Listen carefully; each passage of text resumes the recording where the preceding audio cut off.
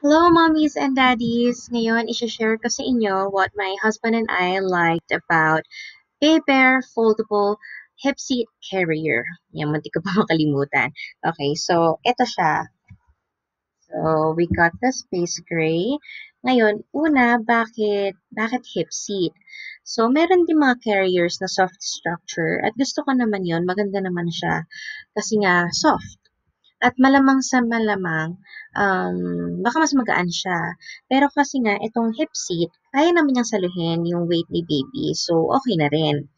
Also, itong foldable, um, pwede mo siyang gamitin as a hip seat lang. So, halimbawa, mas makilaki si baby, pwede na siya sa outward facing, pwede mo siyang uupuin lang dito uh, hindi mo kailangang isuot tong ano, yung, yung buong carrier, kahit itong hip seat lang.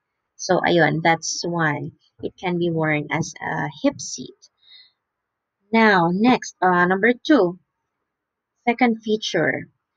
Um, itong carrier na to, breathable. Okay, meron akong kodigo dito kasi marami akong babanggitin na features eh, na mga lahat ay nagustuhan ko naming naming mag-asawa dito sa carrier na to. Uh, yun nga, napakarami talaga yung features. Kaya sobrang nagustuhan namin siya. Alright, so next, breathable. So, removable yung front panel. Ito yung front panel. Removable siya. Yan. Unzip mo lang. Yan. Tada! Removable. So, kapag malamig, pwede mo siyang itaas, pwedeng naka-close lang siya to keep your baby warm, to keep him from the cold. Ngayon naman, kung mainit, di pwede mo siyang ibaba. Unzip mo. Yan. So, mesh sa loob, mesh inside, kaya mas makakapasok yung hangin. So, yeah. Again, breathable. Yun yung isa pa namin nagustuhan sa carrier na to. Pangatlo, okay, asan ako? Pangatlo, meron siyang double safety technology.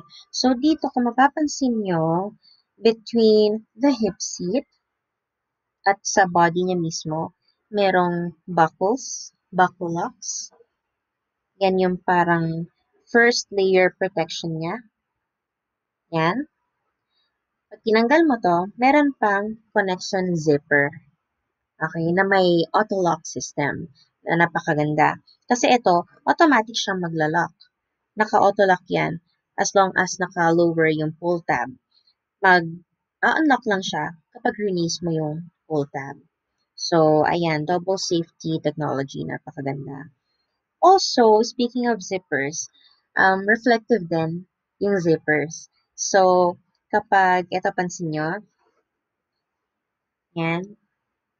So, pag napunta kayo sa madilim na area, madali kayo makikita. Kasi nga, ayun, meron siyang nightlight reflective zippers. Kaya, another feature that we liked. Alright, next. Um, ayun, malapad at high grade din ang kanyang Velcro waist straps. Yan, lapad, di ba? So, itong Velcro or hook and loop fastener, ito yung hook, yung rough side, and then yung loop, yung soft side. Ayan. And one more thing, ang maganda pa rin dito, maliban dyan sa strap na yan, sa Velcro, meron pa ulit buckle. So, very safe. Safe na dito sa harapan, safe pa sa likod. Diba? So, mas magiging kampante ka. Um, andun yung mapapanatag ka na very safe kapag nag-baby wear ka. Next feature. Okay. Shoulder straps. Shoulder straps. So, napakaganda ng shoulder straps because padded. Padded siya. So, very comfy at adjustable. Kaya kung medyo nasisikipan si baby, pwede mo siyang i-adjust para makahinga-hinga, di ba? Maluwagan siya. So, konti siya actually para sa inyong dalawa, for you and your baby.